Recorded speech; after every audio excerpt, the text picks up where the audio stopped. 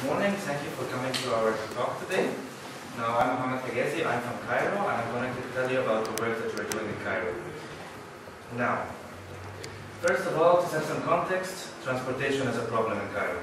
It's not that easy to travel through the city. The way that we want to approach this is we want to understand what it is, what happens. So, we started looking for all available information on public transportation within the city. And this is really what you get. This is the most recent information that the Cairo Traffic Authority publishes. That's equivalent to Transport for London or the BVG here in Berlin. And it's a PDF with 20 pages. Let me walk you through a little bit of how it actually looks like. So I took it and I did my work on it and I put it in CSV. And this is what you get. Now, I think that this was a little bit of a problem we have with working with government data in Egypt, you really have it lucky here in Europe. If you look at the very left side, you will find that we have seven bus routes that are numbered number one. And you will notice that the difference between them is actually what is in the second column, the name or the symbol. There is number one dash, there is number one space, number one number number one space dash, which is different from number one dash. and is the route? It's automatic, forgive me for that. But you'll find that all of these are basically the same, start and end, and just different things in the middle.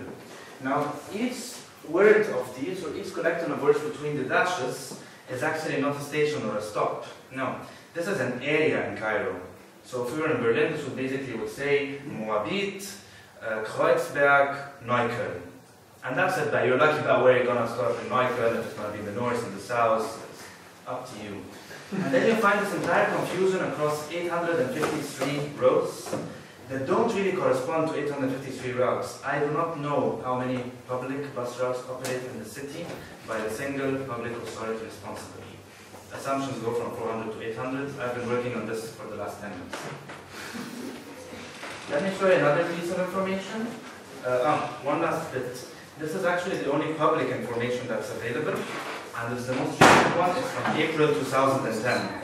So we also have a problem with timeliness. Going to more recent information, this is from 2015. This is not public, but this is a list of all the licensed microbuses. So to put it into context, we have metro, we have the CTA, Cairo Traffic Authority, operating public buses. We have regulated microbuses, and these are the ones that are actually licensed. And then we have a whole lot of other unregulated, unlicensed ones. And you find that we have 19,500 these unregulated microbuses operating. So this is really the scale of the system. As a user in the street, that's the kind of information that you see, if you get to find it. This is an Ataba. Ataba is one of the most central stations in central Cairo. It would be equivalent to Hauptbahnhof here in Berlin, or to um, King's Cross in London. And these are the public bus lines that starts with it. So you see that we really have a problem with information. So, what do we do? We are a team, called Transport for Cairo. And this is half of our team with a couple of attendees at an event that we threw this March in Cairo. This was actually Open Data Day, we are the ones who organized it.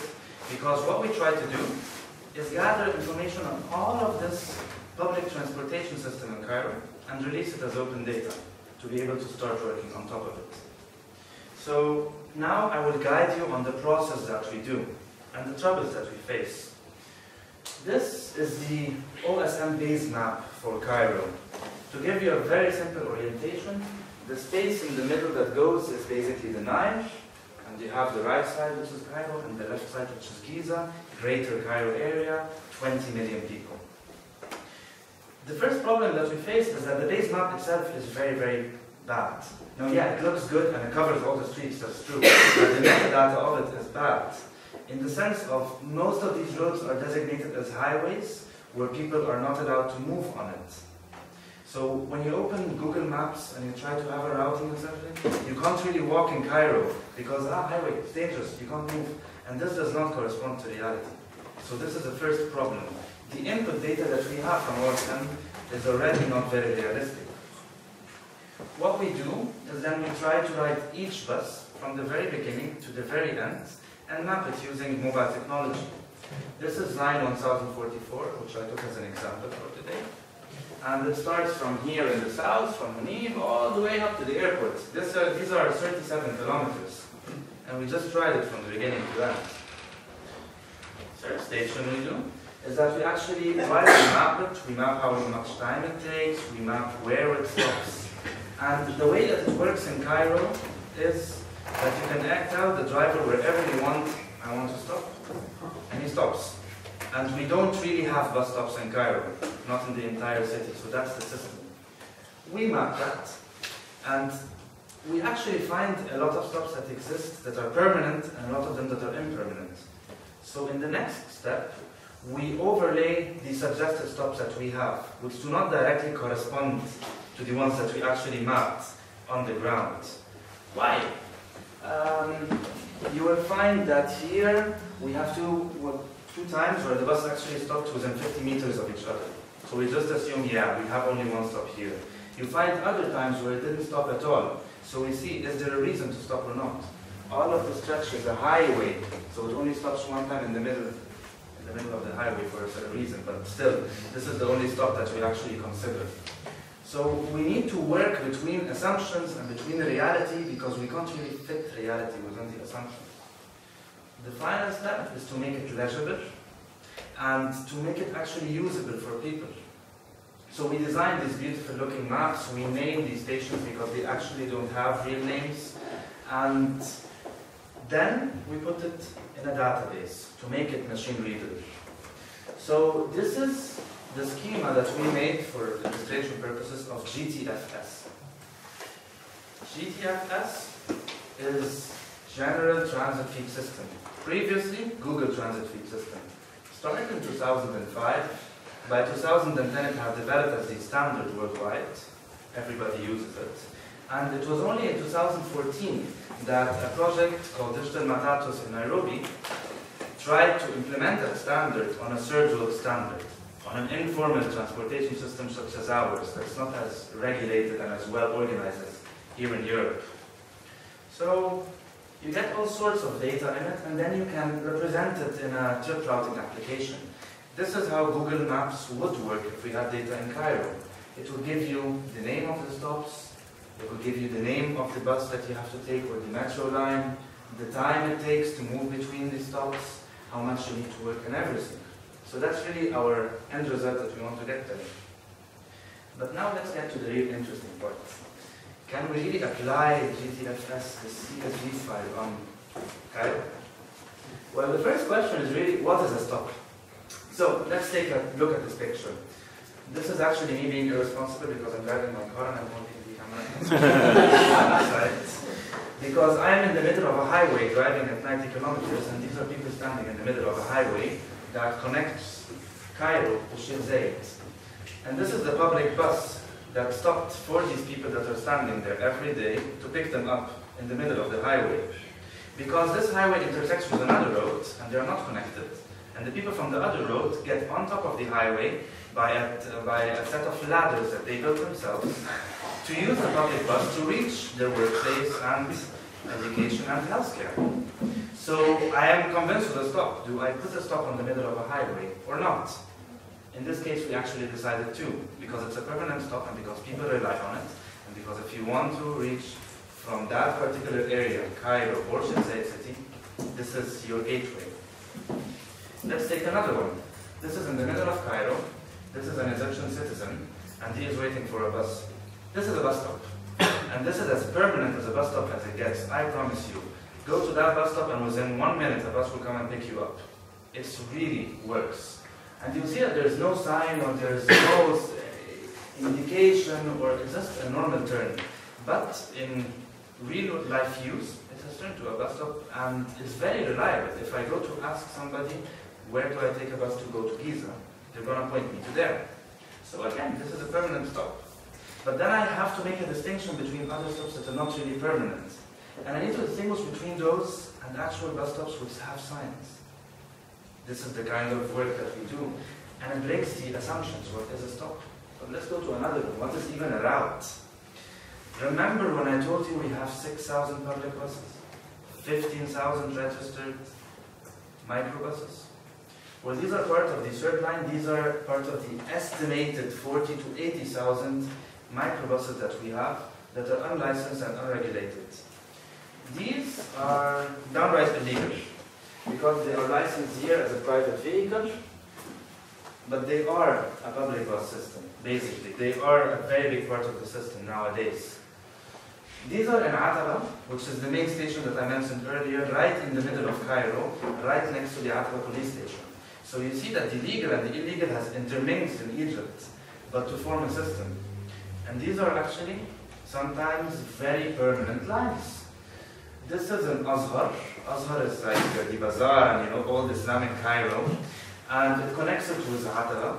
And you go there, you stand, and within a minute, one of these small ones, like here you see that there are two fighting with the same customer, will come and stop and take you. So this is as permanent a system as it gets. It's as reliable as taking an underground. It's always going to be there. But it's illegal, and it's unregulated, and it has no number, and it's informal. So again, we need to distinguish between those and the ones that don't exist. Then you find all the particular stories that are associated. Remember the highway I showed you earlier, the one connecting Cairo to Sheikh? Well, the other road below is actually a rural road. And people reach these highways by taking these cars, which are called Box al Fayoum. They're called box because this is actually a truck, and they just did the box behind it, people don't sit inside. And on the real terms, only people from Fayoum are allowed to drive these buses. There is no legal law stipulating that, or there's it's just the way it is, it's just the custom of it. And all these cars are licensed from Fayoum, but they drive in particular parts in rural Cairo. So you find that actually an anthropological study as well of what we are doing to understand why the system works the way it is.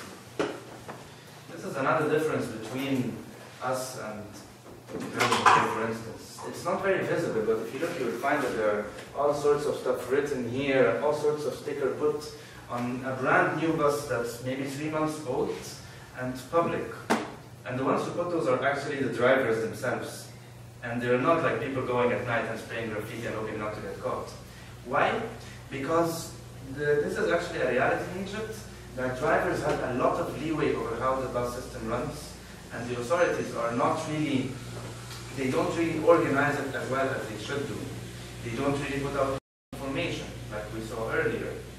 And route engines, if there is a problem with the bus, if there is a service interruption, it falls down to the drivers to communicate this and to deal with this.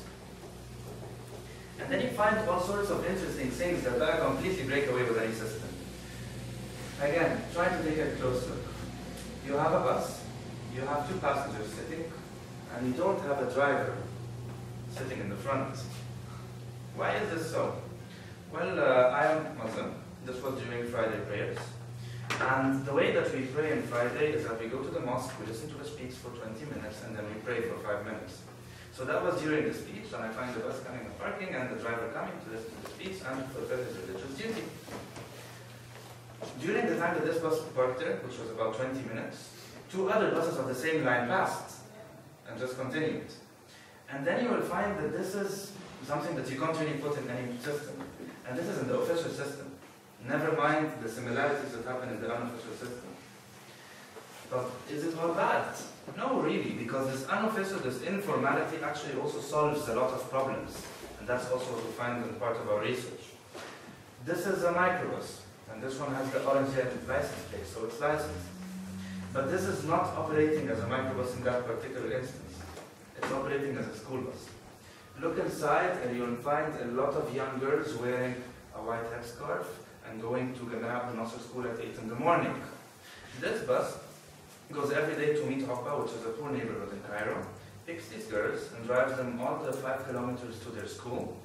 And it solves a very real community problem. How do I get my children safe, on time, and affordable to school? In a system that works but has a lot of problems. And then you'll find that the informality is the thing that actually comes to help people out and to solve their problems. So this is the presentation I wanted to give. Feel free to contact me for any questions. And I actually wanted to leave the last 10 minutes of time for questions that you have. Thank you.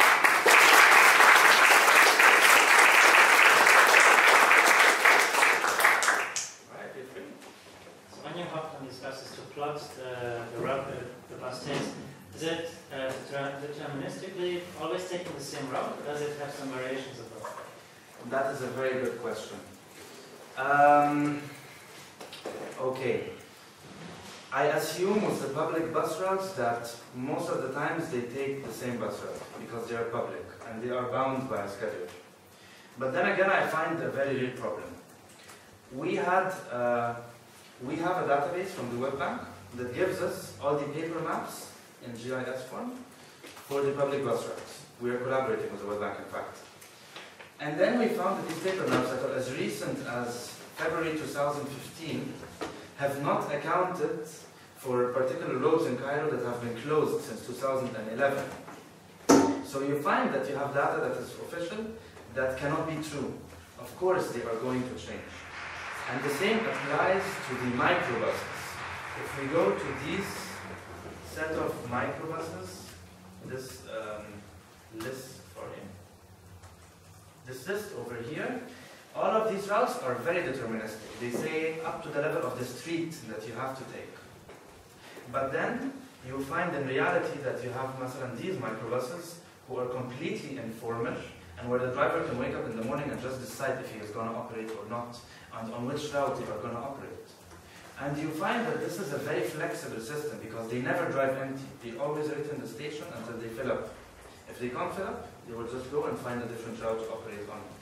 So it's actually a very efficient system in terms of load factor. You will never find in Egypt what you find here in Europe, which is a public bus system operating uh, empty. So you see, it's a variation.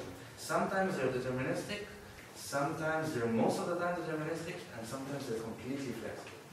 And this is everything that we do. It's always related. Sometimes the stop is always there. Sometimes it has a physical structure. Sometimes not. Sometimes it operates sometimes. Right. Uh, do you collect data on uh, basically taxis? Because it seems like there's a gray area between public transport and private transport. Uh, that's you have a lot of gray compared to the systems that I'm used to. And so, um, are there like for these things, for example, um, do they go off route if someone like knows their number and they call these microbuses? Will they go and do like private trips? They, are they acting as taxis, or do you like draw a line at like basically on demand pickup and only do things that have predetermined routes, or is there a gray area there as well? It's a great area because this is licensed as a private vehicle. So if you know the driver, you can call him and he will come and do whatever you want. And it's, it's completely up to the discretion of the driver to operate. You will find that ownership, some are part of a fleet where you have a fleet owner owning 60 vehicles and renting them out on day per day. And some belong to a government employee who takes it the morning to his job. Somebody comes and picks it up, operates it for six hours, and then brings it back. So it's again, it's a huge spectrum. Uh, in international development parlance, they are referred to as shared taxis. Um, so basically, this is it again, it's a spectrum. Yeah, one thing I'm really interested in is in my town of Portland, Oregon, um, they, the city tried to stand up to Uber and say, uh, at least provide uh, accessible transport for people that, for example, require a van that's equipped for wheelchair transport. Mm-hmm. And so they, um, but it was underspecified. And so a lot of people, when they started using it, had really high times to when they requested a wheelchair accessible Uber to when one actually showed up, in certain cases, like nine hours. Um, and so I'd, I'd, really be interested in, in potentially comparing this data um, with like mean trip time for people on like certain ends of the transport spectrum. Because it like you mentioned at the end near the end of the talk that it's not all bad. Like you have a variety of different options. And i'm uh, interested if, you if you're comparing public and private in that way in terms of efficiency versus like regulation and things like that. Exactly. We're also comparing like the coverage of the public system versus the private system. And in the process we found that we can't just focus on the quantitative on the csv side of it but we also have to look at the qualitative side of it. Because these cars are not ready to take on uh, people with special needs, people with disabilities. But then again, you find that people with disabilities flock to these cars in particular because the drivers and the people sitting in the cars will find a way to uh, help them out. It's a much more communal experience. And this is only the stuff that you will find with qualitative research. Uh, you touched on a very interesting part that I also want to add on, which is the time element. Um, we don't have schedules for public buses in Cairo, and we definitely don't have schedules for those because they operate as they wish. So here what we do is we actually rely on interacting with like APIs on the internet to estimate travel times. And then you find that for the same route, like for the one that I showed at the very beginning, 1044, the time can increase by up to 60% over the course of a day, over normal circumstances, due to traffic. And again, when you have this kind of variation, forget about holding a schedule that you can respect or encode in software. So again, you're faced with a problem. How do I compile my reality with the data standard that has been developed, standardized, and is used all over the place now? Do you have any other questions? How do you plan? Yeah. I'm sorry. Like, how do you plan to proceed? Like, do you think you'll ever manage to, to compile this, this uh, chaos down to GTFS? Yes. Okay, that's, uh, yeah. How do you plan?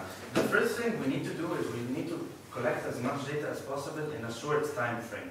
Because I'm basically taking a picture of the picture of the city. And to do this, we're working actually on applying for an international grant with a couple of partners in Egypt. Like we've been collaborating with a lot of international development organizations uh, to be able to map the entire city at once. We mapped on our own, we mapped 14 bus lines and a couple of microbus lines and the metro. And published the metro as open data already and it has been picked up by a couple of applications. But we are faced with up to 800 public bus lines and up to 1,000 microbus lines, so we can't do that on our own. That's the first thing. The other thing is that we find it increasingly necessary to create our own tools.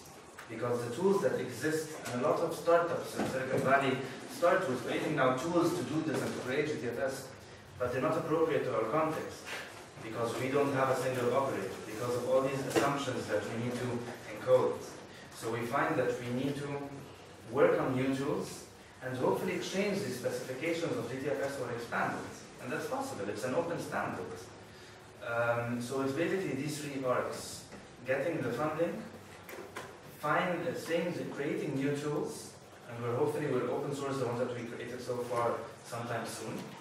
And fixing the open standard or adapting the open standard to our needs. Uh, do you actually cooperate with any other cities? Like, do you have an exchange with other cities having the same problem anywhere in the world or in Egypt or so? Yes. So there are four cities worldwide that have tried to do what we did, which is map an informal system and create a digital data set in GTFS around it. These are Dhaka, Nairobi, Mexico City, and Jakarta. Uh, we have, in addition to that, like there's been some efforts in Amman recently, and they released like a graphical map that's beautiful. It's called Mapping Amman. We have talked with them. There's an emerging effort in Beirut, so we have also conversed with them very, very recently. This is uh, the Arab world. There has been more recent even another effort in Mexico City by a civic innovation lab there. It was called Mapathon. We have also talked with Mapathon recently, and we might collaborate, hopefully we'll collaborate with them uh, on using tools and on furthering the development of the tools. Because we find that they have the exact same problems and the exact same set of issues. I want to stop here, so stop here, no stations, etc. All right, that's all the time we have. Thank you very much.